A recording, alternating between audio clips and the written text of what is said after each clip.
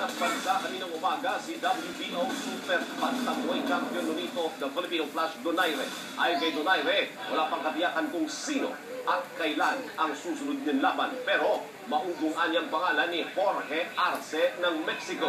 Inamin din ni Donaire na sumabak na rin siya sa paggawa ng pelikula na inamin niyang mas mahirap pa kaysa sa boxing.